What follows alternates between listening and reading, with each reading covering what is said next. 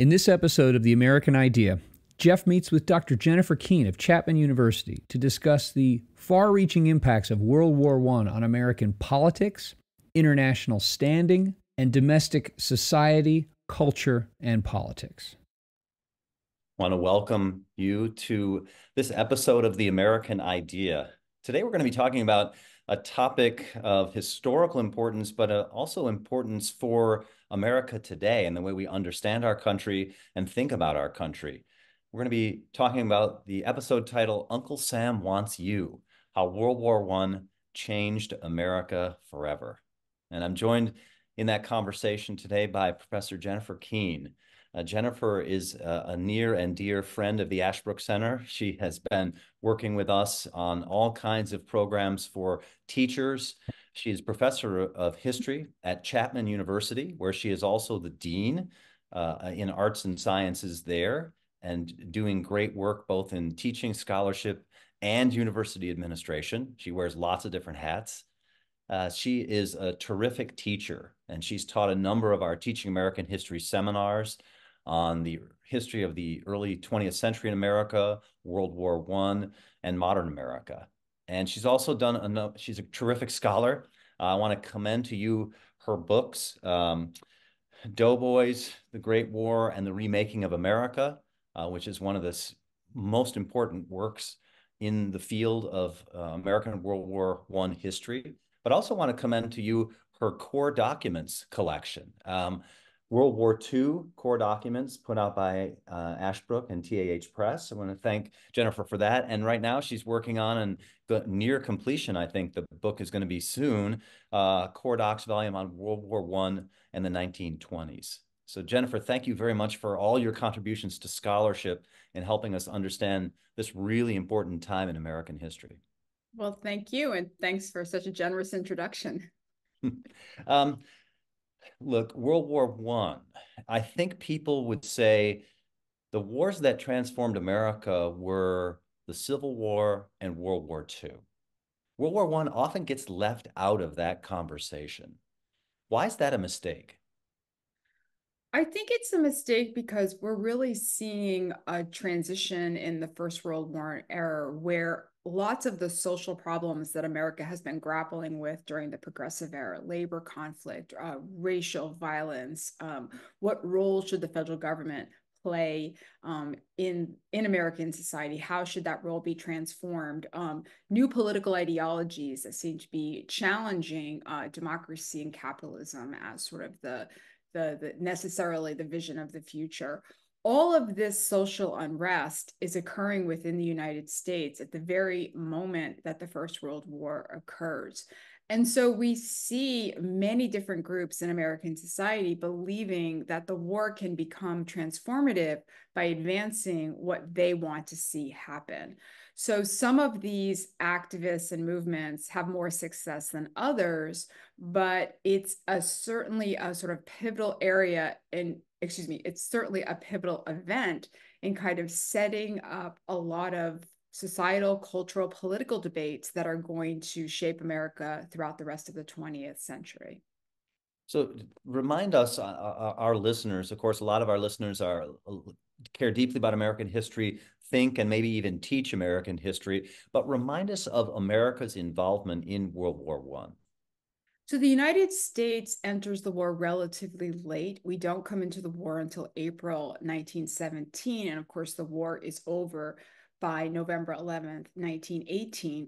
But only framing the First World War era around that relatively limited amount of direct involvement is a mistake because the United States, while it's neutral from August of 1914 when the war breaks out in Europe, um, while it's officially neutral, it is certainly involved. It's better to think of the United States as a non belligerent than a neutral nation because we are directly involved in the conflict from the very beginning in terms of trade, in terms of um, Wilson trying to fashion a peace agreement, in terms of the war creeping ever closer to American shores.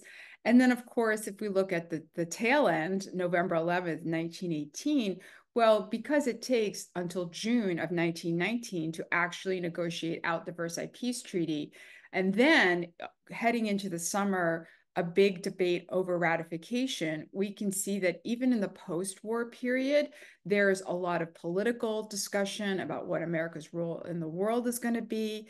And again, as I was sort of mentioning before, a lot of social unrest as the United States has to shift very quickly from mobilizing resources to demobilizing them. So, what I'm essentially saying is while the American involvement looks like it's only about 19 months, in fact, it really spans a five year period.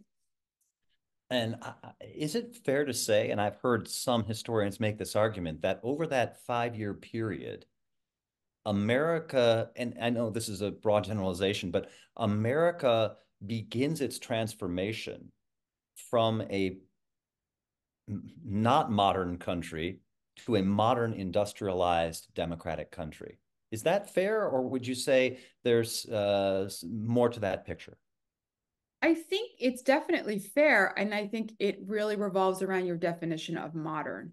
So when we think about modern America, we think of an America that plays a leading role in the world, that is both an economic powerhouse, that um, is an, an, inspiration in terms of its political ideals, that it aims to uh, use its influence for good in the world.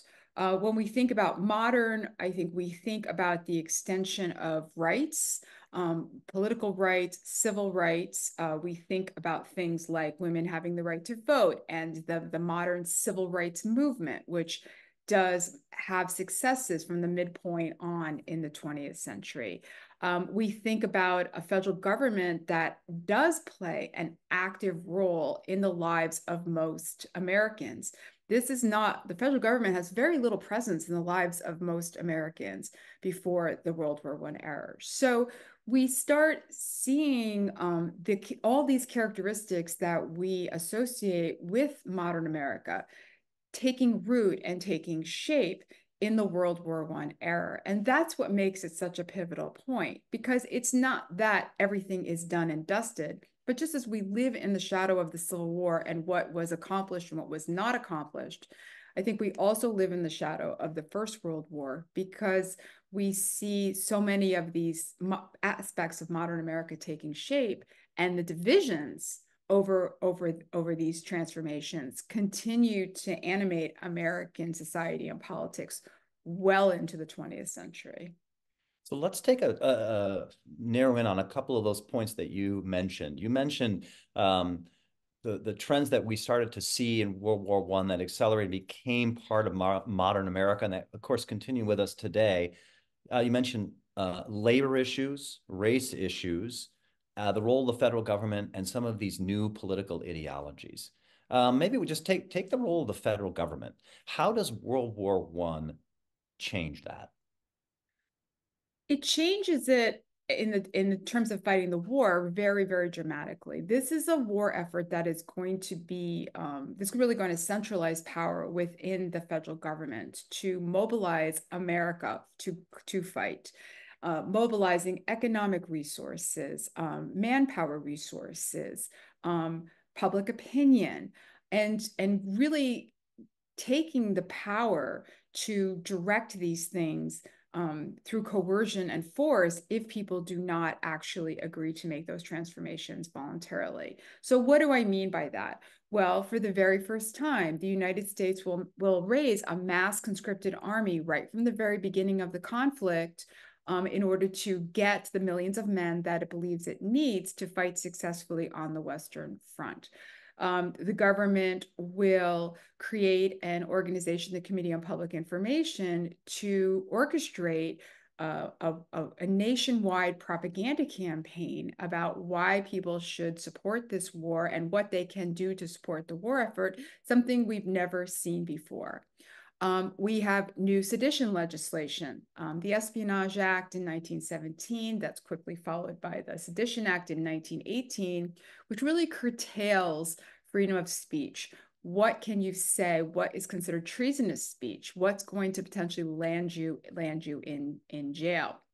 And we see in order to enforce that legislation, uh, the Justice Department beginning to expand investigative powers, which will will soon thereafter give birth to the, to the FBI.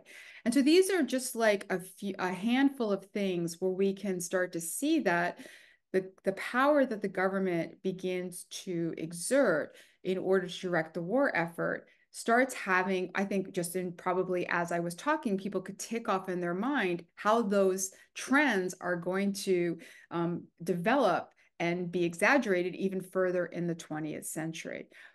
Having said all of that, I also want to add that it was not possible for the federal government within you know a matter of months to turn from a relatively benign force to an all-powerful force in people's lives there was a lot of help on the ground from localities from states in helping grow that federal power um, a good example is the uh, espionage act right the the Justice Department does not have the capabilities to go into all communities and start investigating reports of possible sedition.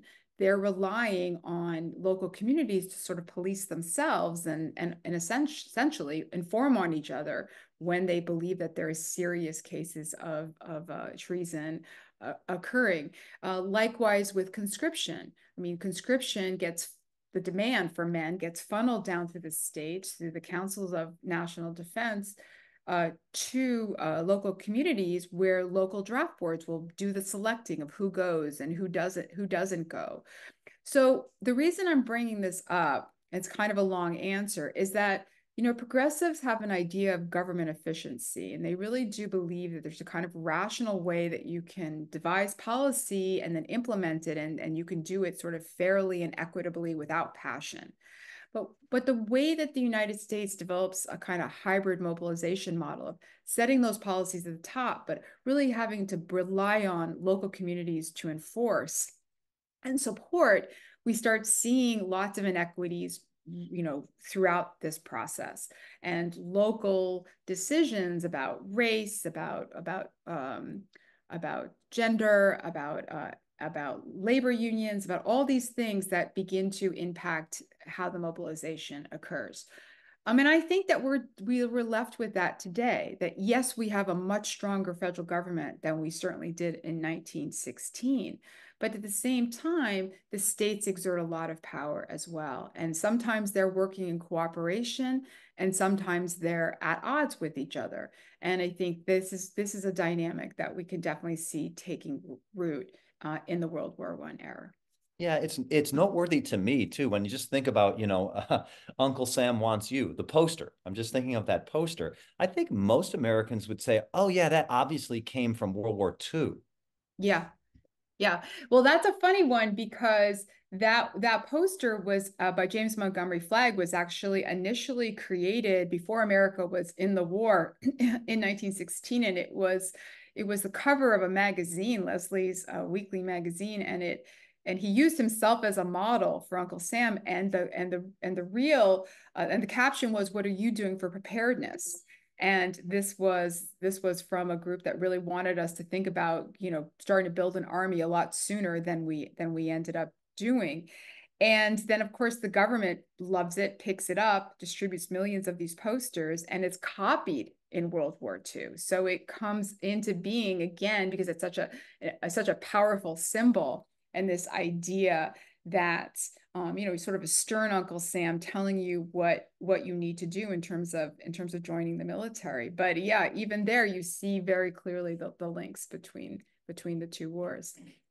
Um, uh, the issue of race which obviously it gets intertwined with many issues how does world war one again we if, if you were to say the civil war i certainly understand how the civil war changes the racial situation in the united states you see World War II, people think of uh, the Tuskegee Airmen. They think of desegregation of the armed forces after World War II.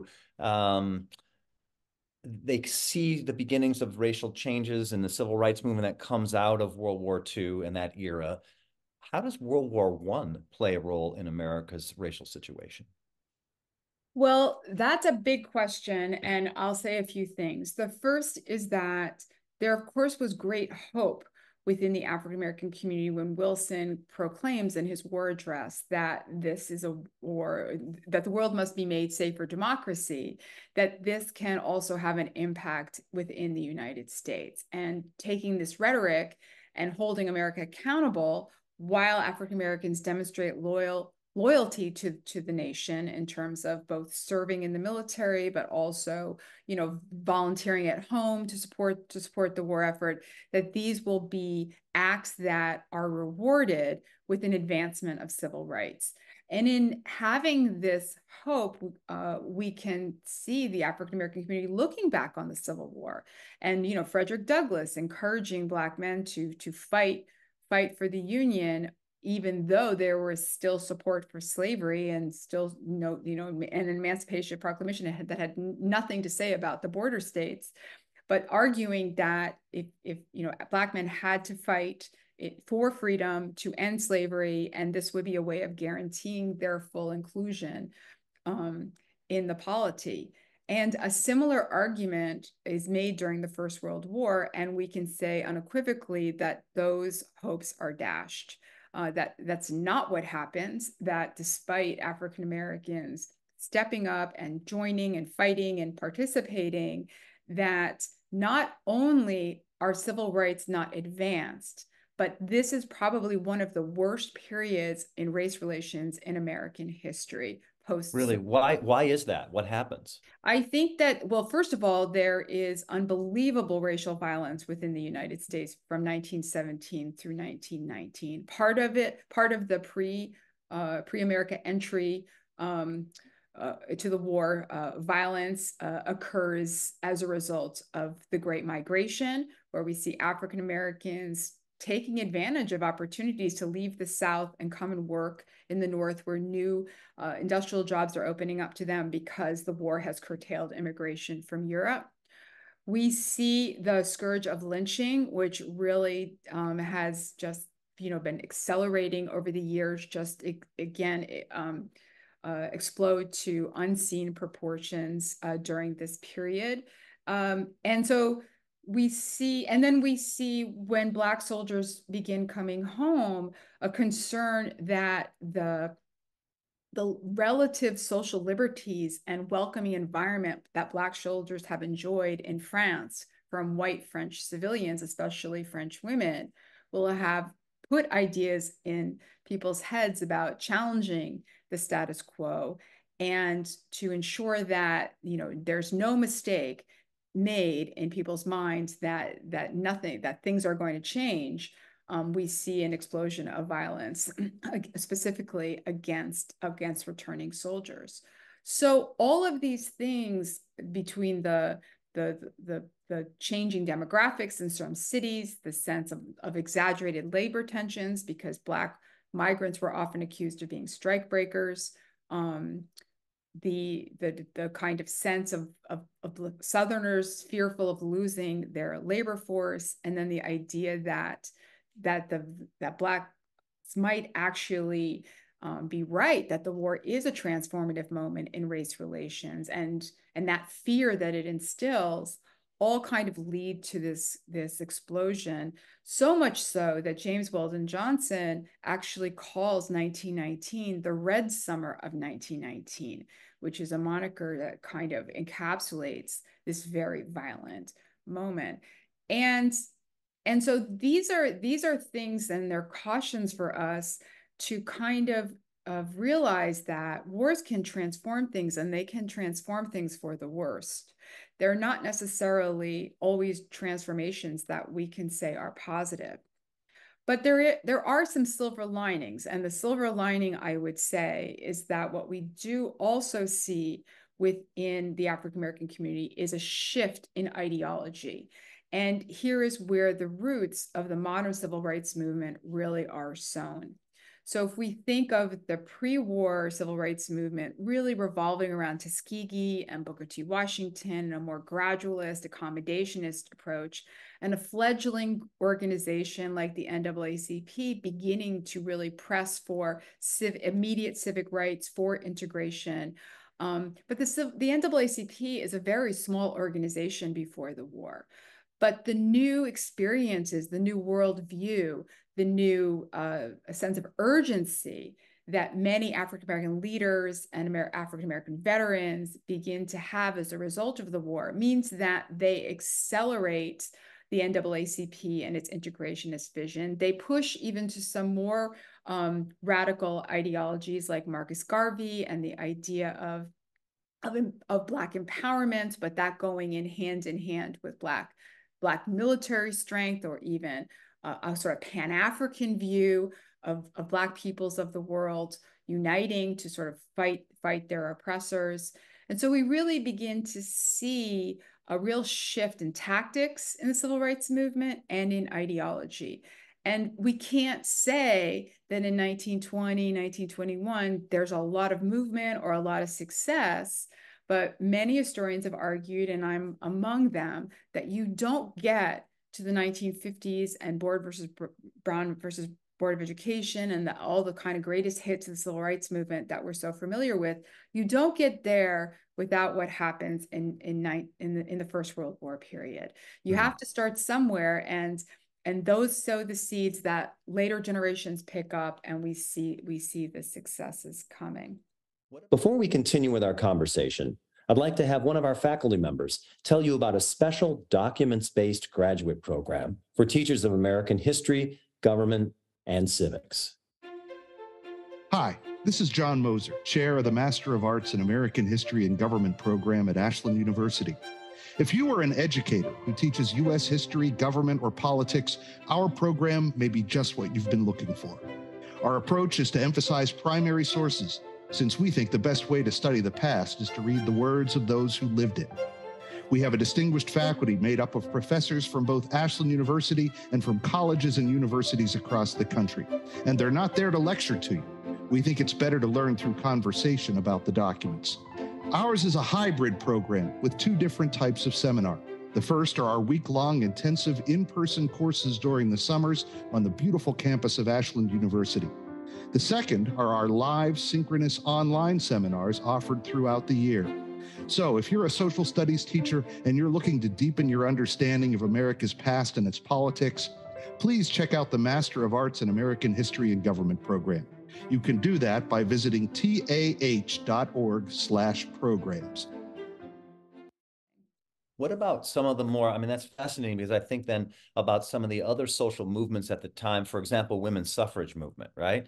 which seemed like it was going to take get some steam right after the Civil War, and as we all know, it doesn't. It goes into a, a relative period of, of, of not having success for decades. Um, what uh, role does World War One play in the advancement of civil rights for women? So the, the female suffrage movement obviously has more success because we do end up with the 19th Amendment in 1920. And we can't say the First World War alone is responsible for that success. But the First World War does play a, an important role. The first thing that it does is it really it really heightens the visibility of the movement because women are actually essential to mobilization and their support is essential in so many capacities as mothers are they going to be willing to let their sons go off to fight as women control the domestic uh, food economies? So when you try to have food conservation efforts are they going to actually go along. Um, women become very visible in campaigns like knitting and victory gardens and selling war bonds and and also to even work in factories to take the place of men who are who are being conscripted into, into service. So the cooperation of women and the mobilization of women is very, very essential. And the and the female suffrage movement takes advantage of this. And and there there's two separate factions of the movement, but the more moderate faction, um, led by Carrie Chapman Catt, really urges women to uh, to volunteer wholeheartedly for the war effort, and and through their volunteer efforts, really work at promoting the cause of suffrage, and and and she does this by arguing rhetorically that you cannot be asking women to be accepting all the responsibilities of citizenship without bestowing upon them the rights of citizenship. And in this ideological moment where democracy is being pushed so strongly as the purpose of the war, this is an argument that has legs. But there's also another faction of the movement, a more radical side, the National Women's Party led by Alice Paul, which takes a very different tactic. And they had begun, even before the United States was in the war, um, in January of 1917, they pioneered a new protest tactic, which is going to sound so tame to us now, but at the time was considered really just unbelievable. Okay. which was that they picketed the White House.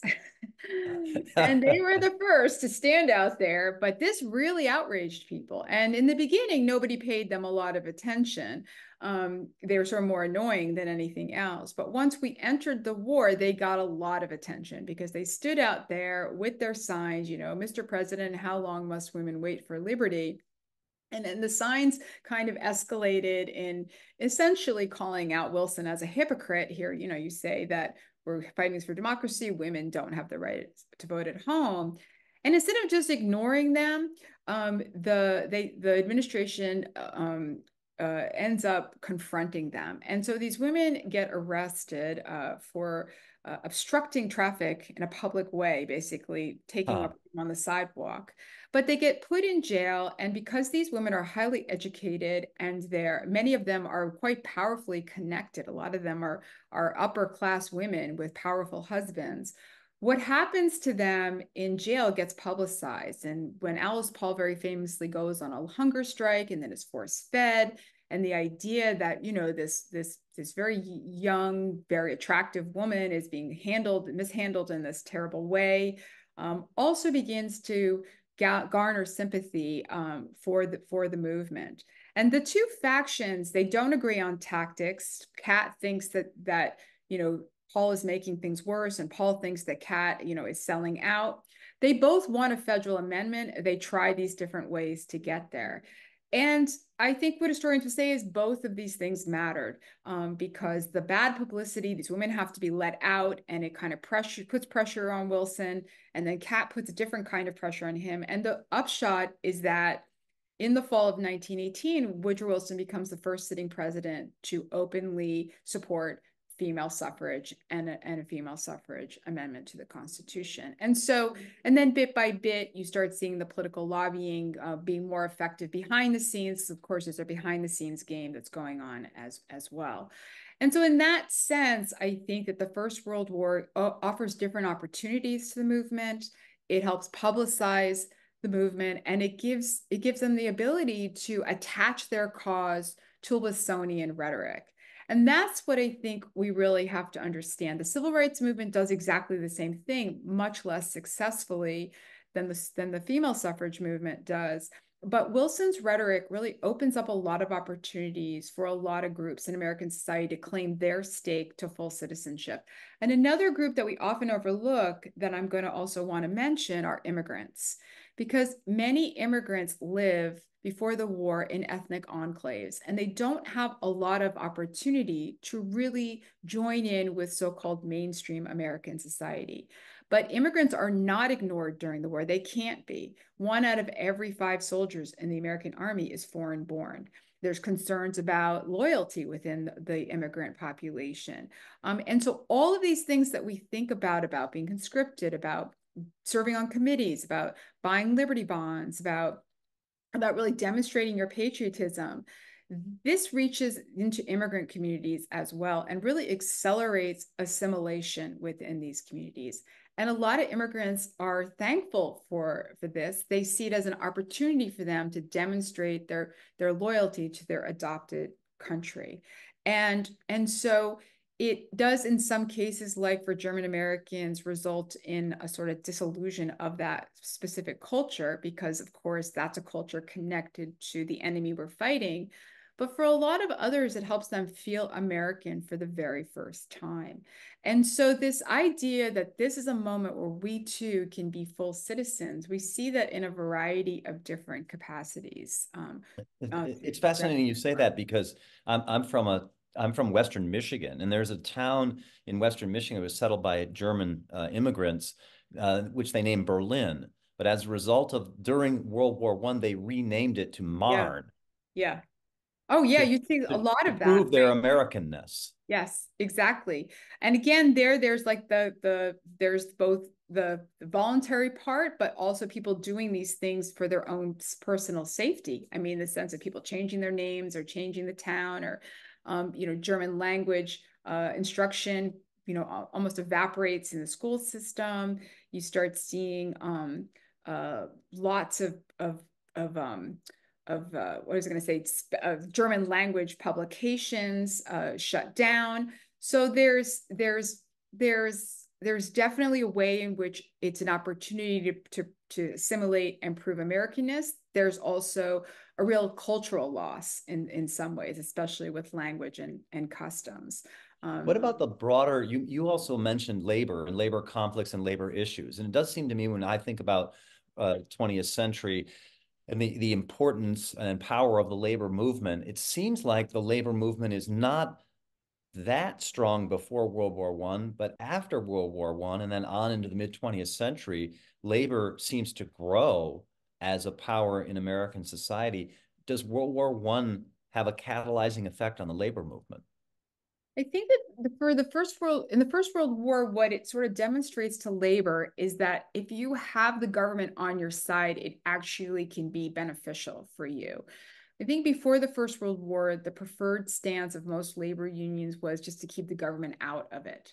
Because whenever the government came in, it usually was to break a strike or to, you know, reopen a factory. It was, you know, reopen the railroads. It wasn't really to help labor in their collective bargaining.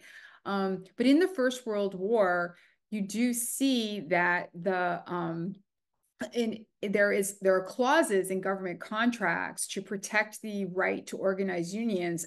And and a government uh, you know labor relations board created where people can actually submit grievances in case they think that that employers are breaking the rules.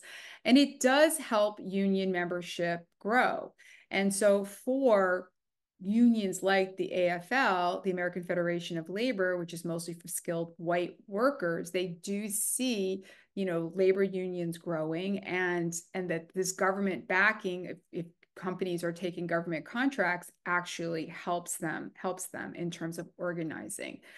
However, again, because there's a growing suspicion of radical ideologies for those labor unions that are more associated with either socialism or communism um, or or even anarchism, those labor unions don't do so well. So something like the IWW, which is essentially crushed during during the war, and so coming out of it, I think what we see is that while there is um, a growth during the war in terms of union membership. And 1919 is also a record year, not just for racial violence, but for the number of labor strikes that that exists throughout the country.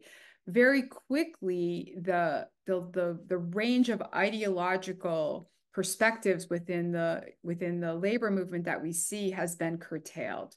So a lot of these very left unions, even the socialists, have a really hard time after the war. And if you think of the socialists, I mean, they were not just a, a union movement, but they were also a political party and, and, and a strong political party before the war. And there are none of those things um, in the 1920s. Hmm. So labor's fortunes, like like many, is a little a little mixed. But what it does show us going into the New Deal, when we think about the significant labor legislation that has passed during during the New New Deal, that that that that idea that the government if it's on labor's side can actually have a positive impact that that I, that that perspective has been laid during the experience of the first world war. Um, what about the effect of world war one on the american psyche? I mean you think of uh, the people think of the lost generation think of the sort of uh, the idea before world war one that so many people certainly in europe had of kind of uh, infinite progress. We're on the high road to progress. We're getting better materially, morally, spiritually. Mankind is headed for a, a positive future. And World War One has such a shattering effect on many people. Thinking of writers in in Europe, uh, Ernest Hemingway in the United States seemed deeply affected by World War One and this notion of, are we really going to make progress as a country or as a civilization? What about the kind of psychological or spiritual effect of World War One?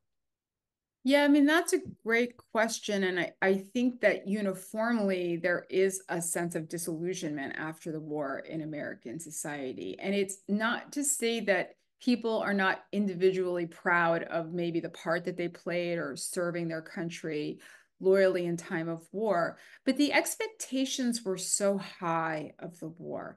By the time the United States came in, there was a sense of people latching on to Wilson's vision as the one thing that could make this terrible war worth it. Because by the time, you know, the US comes in, there's already been plenty of bloodshed. I mean, this is after the Somme, it's after Verdun, and it's it's the sense that the the, the war has been so catastrophic and so costly. What could be worth this cost? And the idea that that Wilson presents is, you know, the war to end all wars, this idea of spreading democracy, that, that, that there's going to be a League of Nations where we're going to, you know, come to, to, to arbitrate disputes and we'll never have to have this kind of cataclysmic experience again. And probably one of the first you know, signs that there's going to be problems making this happen um, is the Russian Revolution. So, if you want to think honestly, if you want to think about the First World War and why it's important, that's all you, you probably only have to cite the Russian Revolution. We shouldn't forget that, right? and it's like case closed. Like you just don't even have to go go any farther than that. And I think the second sign was the very harsh uh, peace that was imposed on Germany um, after after the war. The idea that that you know, because Wilson has not just this war address, and now I'm referencing documents in the core documents book for teachers out there, but we think of the war address and then how he elaborates on these principles in the 14 points, where he's sort of got like, you know, here's the game plan, people. Okay, first we're going to do this, and then we're going to have freedom of the seas, and then we're going to have open covenants of peace and then i'm not listing them in order. So does it then we're going to have um we're going to have no trade barriers we're going to have you know equitable adjustment of colonial claims and he kind of goes through all the all this stuff and and then you know when you get to the peace treaty you just start seeing all the ways that that that vision has not real has not been enacted.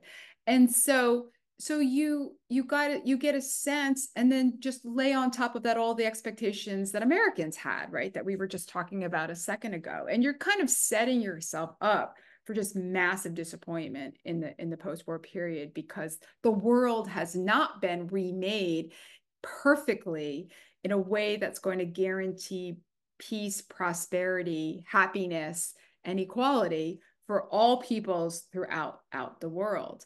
And and so in that sense there it was almost inevitable that that there would be disillusionment. But i think that disillusionment specifically within the united states had to do also with their with america's hesitancy. And we we've seen this in our own time very clearly hesitancy with playing this active role in the world as the world's you know, superpower, economic powerhouse, and beacon of, of democracy and ideological, ideological principle. And Americans have, are always uneasy about this. And, and Wilson was so such a strong advocate of of you know of America playing this role. And of course we know that many who disputed his vision you know helped ensure that the Versailles peace treaty was never ratified. And so that ambiguity I think also you know had a very particular uh, um, or this disillusionment had a very polit- a very particular uh, impact within the United States. And we think of of Hemingway and the lost generation of writers is really articulating that. But we should also look to the US Congress because when we get to the 1930s and we see like the the Nye Commission, you know, investigating war profiteering, and did we really just get into this war so that the uh, our war loans could be repaid? You know, so bankers were behind it, and industrialists were behind it, and this is just another example of the exploitation of the American people by the financial and industrial elites, right? So very much a class analysis of and critique of why America got into the war.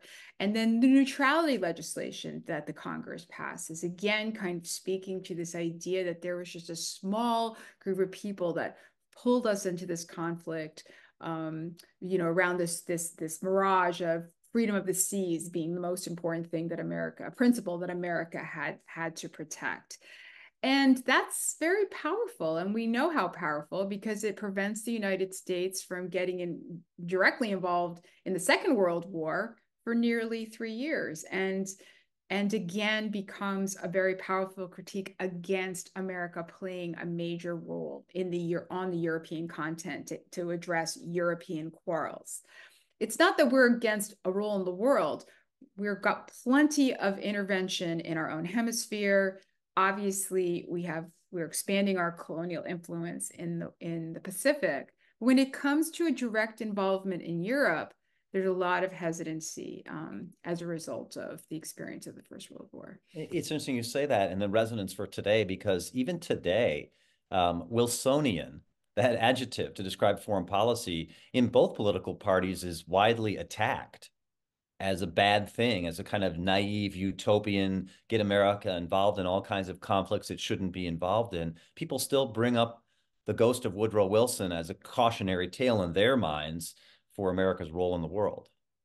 Yeah, it's interesting. I mean, you know, in in the period leading up to the Second World War, FDR, of course, had a different uh, way to invoke Wilson. It was our great father Woodrow Wilson who actually saw the way, and we didn't follow through on his on his vision, and and now it's time to do it right. And if you think about, you know, how we come out of the Second World War with the United Nations, with the idea with the Atlantic Charter, I mean you know, these are things that are built on Wilsonian principles. I mean, they're they're a little punchier, and you know, he was a better politician than than Wilson. But at the end of the day, we did end up with a Wilsonian world, and we still live in a Wilsonian world. And probably the only time where we were really, you know, you know, challenged in terms of thinking about whether we were were now ready um, almost a century later to chart a different course, I think was during the first was during the the the Trump administration. I mean, because then you really did have, and I made this argument at the time, sort of for the first time, uh, the power of the presidency and uh, or a person with the power of the presidency who really rejected Wilsonianism. And I think uh, other presidents, maybe it's a it's it's a it's a convenient political football, but at the end of the day, that's the vision we continually enact again and again and again. I mean, when, you know, I don't have to get into too much of the present day, but, you know, Afghanistan, Iraq, I mean, you know, we can just go on and on. It's, yeah. You know, Ukraine, among others. Yeah, Ukraine, no, I mean, that's a fascinating point because it yeah. makes me and it makes me ask this question, and maybe it's an unfair question to a historian, but um, Woodrow Wilson was obviously, you've talked about him many times in this conversation and mentioned him, and his legacy continues to be disputed today. And, and uh, do we live in a Wilsonian world? Yes. Should we reject it? Yes. No. There's arguments about that. History's verdict on Woodrow Wilson. Yeah, that's. well, Woodrow Wilson is a very controversial figure. I mean, there's obviously, I think, a lot of the, the the very legitimate negativity around Woodrow Wilson at the moment has as much to do with his racial politics as it does with his foreign policy. And I think we've seen a lot of people uh, really trying to come to terms with the way when I was speaking earlier about the fact that race relations got worse and situation for African Americans got worse within the United States, a lot of that can be laid at the feet of Woodrow Wilson in terms of policies that, that he enacted and, and also things that he did not do. Um, and clearly with the um, the sense of of you know Wilsonian foreign policies, um, the the whether or not they're viable and whether or not they're ideal too idealistic or are actually realistic i do think there's an argument to be made that wilson was very realistic in terms of what he what he was proposing because he was really proposing to remake the world not only in america's image but remake the world in a way that served america's interests that at the time, in terms of the geopolitical environment in which he lived, it actually, many of the things he proposed in the 14, 14 points actually benefited the United States at the to the detriment of other of other nations, which is of course part of the reason why they also didn't work, didn't work. So now I've lost track of the question. well, it sounds like it's a so well. It sounds like it's a mixed verdict on Woodrow. Wilson. It's a mixed verdict. I would say you can't. You have to grapple with what Woodrow Wilson. You can't understand 20th century America if you don't grapple with Woodrow Wilson. So you know he's a person. I obviously can tell I have my own mixed feelings about him. There's sometimes I find him quite inspiring. He did write great speeches. I, and the other times that I find him despicable and and infuriating but I never doubt his impact. And that's what we as historians have to kind of remember that we may disagree with an historical figure and we may not even like them, but if they were impactful, we have to try to understand them and we have to try to understand their their eh, their influence um, because well, that, that, that is a absolutely fantastic lesson for us all to remember and thinking about history, right? Yeah. To think about the significance of trying to understand them as they understood themselves and the impact that they had on the world. Obviously, World War One continues to, it shaped America profoundly in the rest of the 20th century. And I think you made a pretty compelling case today that it continues to shape America even in the 21st century. Well, then Jennifer. my job is done. and you did it well. Jennifer, thanks for taking the time to join us today on The American Idea. We really appreciate it. Great. Thanks so much. I really enjoyed it. Thank you for listening to this episode of The American Idea. If you enjoyed this episode, remember to subscribe at Apple Podcast, Spotify, or wherever you get your podcasts, and leave a five-star review. If you want to learn more or get involved in Ashbrook's vital work, visit our website, ashbrook.org.